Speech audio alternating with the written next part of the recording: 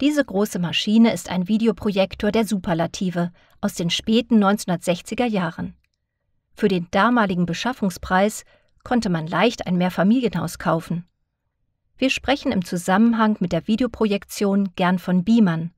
Das ist aber nur eine übernommene Bezeichnung. Unser Eidophor ist aber tatsächlich ein Beamer im wörtlichen Sinne, denn in seinem Inneren wird ein Elektronenstrahl erzeugt, der das Fernsehbild auf einen rotierenden, mit einem Ölfilm beschichteten Spiegel schreibt. Dazu muss man wissen, dass ein Fernsehbild aus einzelnen Zeilen besteht, die mit sehr hoher Geschwindigkeit absteigend auf einen Bildschirm geschrieben werden.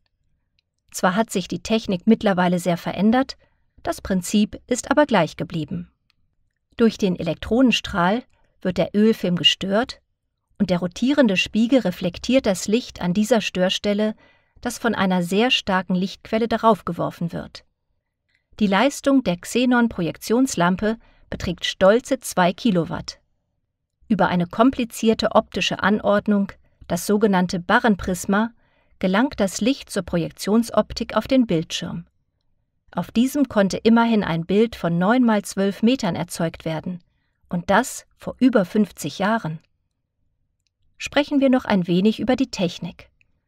Ein Elektronenstrahl kann nur im Hochvakuum erzeugt werden. Dafür hat unser Eidophor eine mechanische Vakuumpumpe für das Vorvakuum und eine Diffusionsvakuumpumpe für das Hochvakuum. Dazu ein rotierender Spiegel in diesem hochdichten Gehäuse, mehr konnte die Raumfahrttechnik in dieser Zeit auch nicht.